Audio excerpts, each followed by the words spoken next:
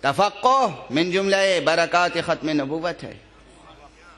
حضور نے سکھایا اشتہاد آئمہ نے بتایا اشتہاد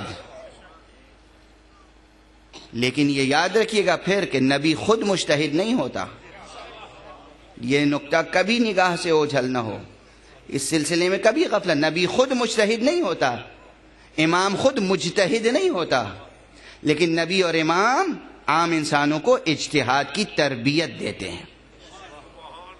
اگر اجتہاد کی ضرورت نہیں تھی تو امام نے تربیت کیوں دی؟ آج بہت سے حضرات کہتے ہیں، ہمیں مشتحد کی ضرورت نہیں ہے۔ آپ کو جس چیز کی ضرورت نہیں تھی، نبی نے وہ چیز بنائی کیوں؟ امام نے وہ چیز بنائی کیوں؟ بعض حضرات کہتے ہیں شبہات ہیں، شکوک ہیں۔ ذہن کو کسی نے الجھا دیا۔ اور الجھانے کے لیے تو ایک پوری معلوم ہے۔ روز اول، ادھر حضرت آدم، ادھر۔ اب میں صرف ابلیس کہہ دیتا ہوں۔ ورنہ دنیا والے تو برابر کرنے میں جب حضرت آدم کہتے ہیں تو حضرت ابلیس بھی کہہ سکتے ہیں۔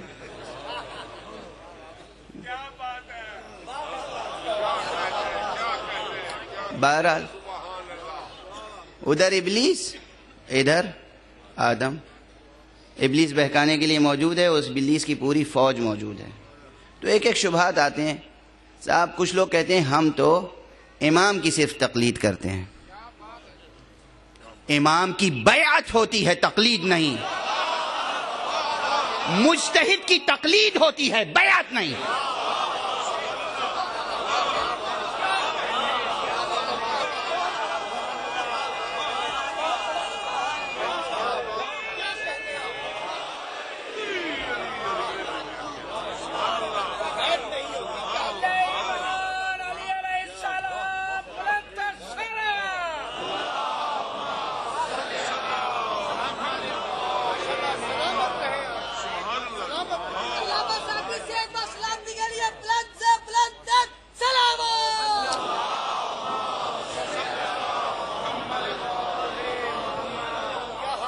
اللہ کی بیعت بیعت ہوتی ہے، نبی کی بیعت ہوتی ہے، امام کی بیعت ہوتی ہے۔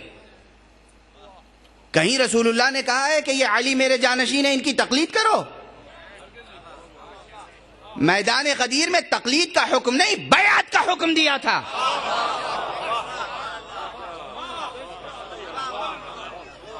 علی کی بیعت کرو۔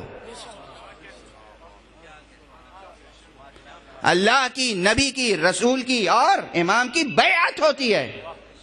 مجتہد کی بیعت نہیں ہوتی، تقلید ہوتی ہے۔ تقلید الگ ہے، بیعت الگ ہے۔ بیعت ہے نفس کو بیچ دینا۔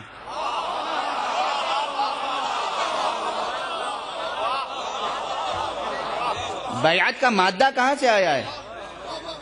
بیعت، اس کا روٹ ورڈ کیا ہے؟ بیع. بیع و شرع ہم خدا کی مرضی کے مقابلے میں اپنا نفس بیچ دیتے ہیں۔ ہم رسول کے ہاتھ پر اپنا نفس بیچتے ہیں۔ ہم امام کے لیے اپنا نفس بیچ دیتے ہیں۔ اپنے وجود کو بیچ دیتے ہیں۔ مگر مشتحد کے ہاتھ پر ہم بیعت نہیں کرتے۔ مشتحد کی تقلید کرتے ہیں۔ حفظ مراتب ہے۔ مشتحد معصوم نہیں ہے۔ نفس بیچا جائے گا تو معصوم کے ہاتھ۔ نفس اس قابل ہو جائے کہ معصوم خرید سکے۔ اس کی تربیت کے لیے مشتحد کی تقلید ضروری ہے۔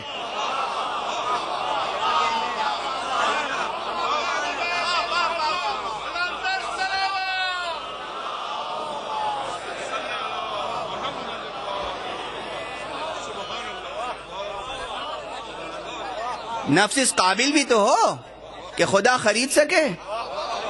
اس بازار میں کوئی قیمت تو لگ سکے؟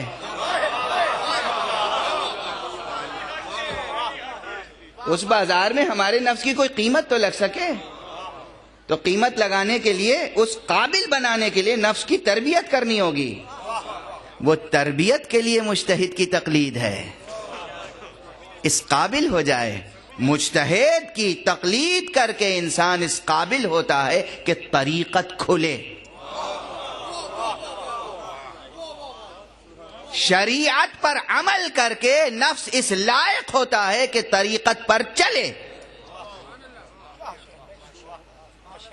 طریقت وہ ہے کہ جو انسان کو اس لائق بناتی ہے کہ حقیقت تک پہنچے۔ بیعات الگ ہے، تقلید الگ ہے۔ نہ دھوکہ کھائیں، نہ دھوکہ دیں۔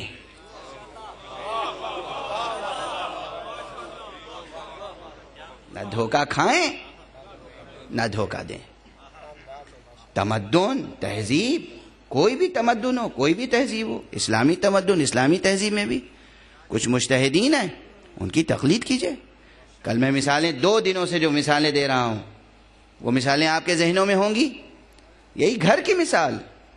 اگر آپ کو گھر بنانا ہے تو کسی آرکیٹیکٹ سے نقشہ بنوانا ہو اور دوسرا شبہ جو آپ حضرات وارد کرتے ہیں، کہ دین ایک ہے، کتاب ایک ہے، شریعت ایک ہے، فتوے مختلف کیوں ہیں؟ کل اس کی وضاحت میں نے کی۔ فتوے مختلف اس لیے ہیں کہ استمباد کی پوری سائنس ہے۔ ہر مجتہد اس سائنس میں جب صاحب رائے ہوتا ہے، تو اس کو انٹرپریٹیشن کا حق حاصل ہوتا ہے۔ فتوا یعنی انٹرپریٹیشن فتوا کا لغوی معنی ہے بیان حکم۔ حکم نہیں۔ بیان حکم۔ الفا و تا والحرف المعتل، یہ دو اصل ہیں۔ اسی اصل سے فتح ہے، اسی سے فتوا ہے۔ اسی اصل سے۔ ایک اصل اشتقاقی سے اسی سے فتح ہے۔ دو معنی ہیں۔ فتح، جوان۔ فتوا بیان حکم۔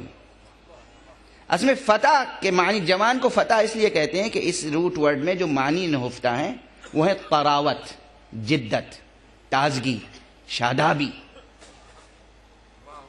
فے تے حرف معتل یہ ایک ایسی اصل ہے جس میں قراوت، تر و تازگی، شادابی۔ چونکہ جوان کا وجود اس میں تراوت ہوتی ہے، جدت ہوتی ہے، شادابی ہوتی ہے، اس لیے اسے فتح کہتے ہیں۔ کچھ ایسے وجود ہوتے ہیں جن پر کبھی کبھی وہ لمحہ نہیں آتا کہ ان کی تراوت اور شادابی ختم ہو جائے۔ ان کو لسان نبوت میں فتح کہتے ہیں۔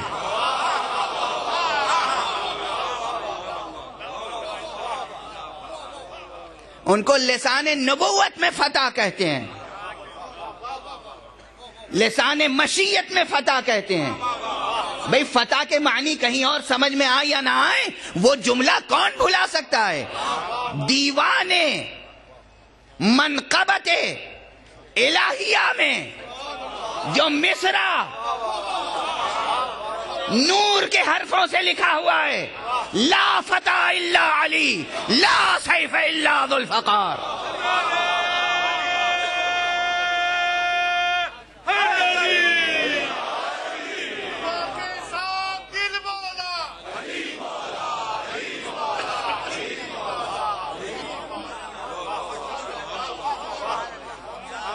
اب ارباب جو واقع ارباب معرفت ہیں، جو واقع حقیقت شناس ہیں، جو واقع اہل سیر و سلوک ہیں، ان سے پوچھئے، علوم سیر و سلوک میں، علوم تصوف میں ایک مستقل علم ہے جسے کہتے ہیں علم الفتوبہ علم فتوبات مستقل علم ہے۔ اور یہ علم وجود ہی میں نہیں آتا اگر علی کو فتح نہ کہا جاتا۔